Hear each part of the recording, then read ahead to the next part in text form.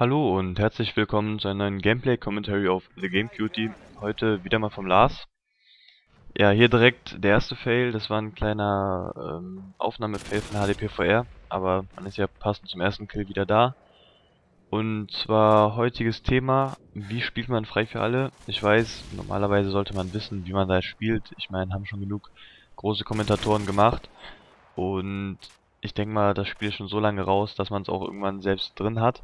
Aber es gab, ich glaube, drei oder vier Anfragen, ob ich nicht nochmal sowas machen könnte. Denn ich glaube, The Ultimate Man oder irgendwie sowas hieß, der war der letzte, der hat noch beim letzten Video gefragt. Dann hatte ich mir gedacht, ja komm, wenn noch halt Interesse besteht, machst es mal. Hier sieht man auch schon den ersten Punkt, halt, man sollte vernünftig spielen können, weil sonst kann man das ganze Thema vergessen. Weil wenn man kein vernünftiges Aim hat, dann hat es auch keinen Sinn mit Taktik zu spielen, weil dann hilft eigentlich nur Campen. Und Campen ist mit Abstand die schlechteste Lösung. Ja, erstmal zur Klasse. Das ist jetzt in dem Fall eine AK-47 mit Vollmantel. Es ist theoretisch schon der erste Fehler, denn man sollte normal mit Schalldämpfer spielen. Denn durch den Schalldämpfer wird man halt logischerweise nicht auf dem Radar oben angezeigt. Und so können halt die Gegner einen beim Schießen nicht sehen. Aber ich dachte mir, hm, ich spiele am liebsten die AK mit Vollmantel, weil mit Schalldämpfer finde ich, sieht total scheiße einfach. Das klingt total dumm. Und hier natürlich direkt der erste Tod, richtig unnötig beim Claymore hinlegen. Der ist vermeidbar, was war einfach Pech.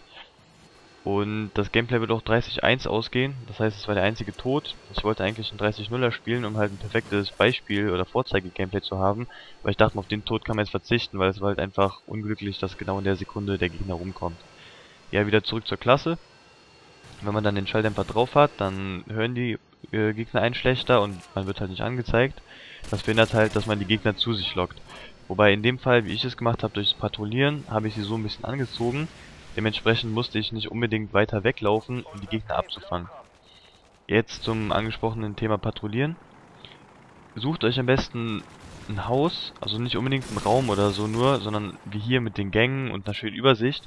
Das beste Haus, wo ihr einfach zum Beispiel die Hälfte der Map, wie in dem Fall, das nehmen wir offene Stellen, habe ich die Hälfte der Map habe ich im Auge und so könnt ihr euch halt auf dieses äh, auf diesen Bereich beschränken und könnt dann halt alles wegholen, was vorbeikommt.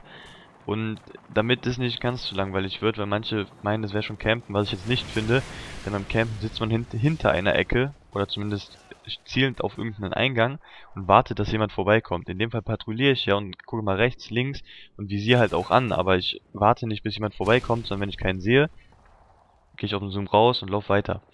Und damit es halt nicht so langweilig wird wie hier, ein paar Ausflüge nach draußen ist kein Problem.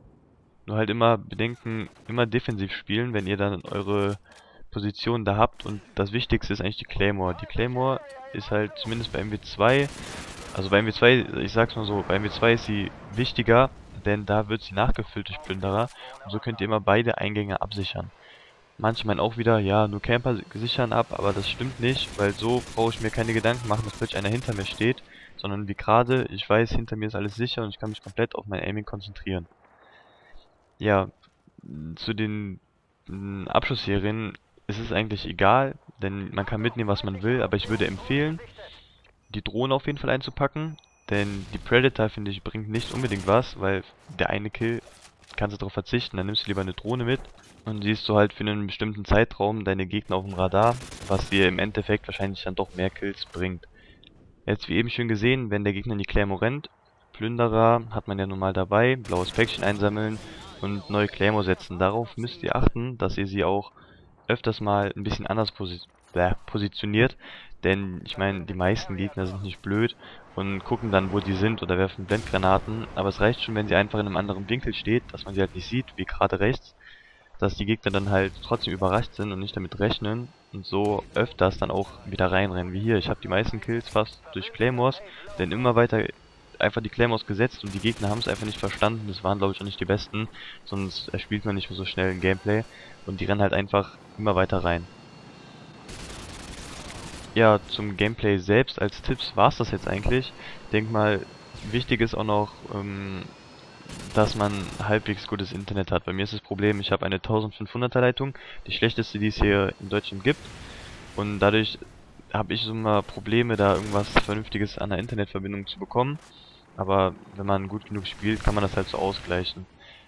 Ähm, eigentlich der beste Tipp ist normal Gaming-Headset benutzen, aber in dem Fall dachte ich, nicht jeder hat Gaming-Headset, deswegen habe ich das rausgelassen. Ansonsten, Gaming-Headset und Ninja, du hörst einfach jeden Schritt. Das ist halt bei mir noch der große Vorteil. So, jetzt hier wieder meine Claymore. Da sieht man, wie effektiv die sind.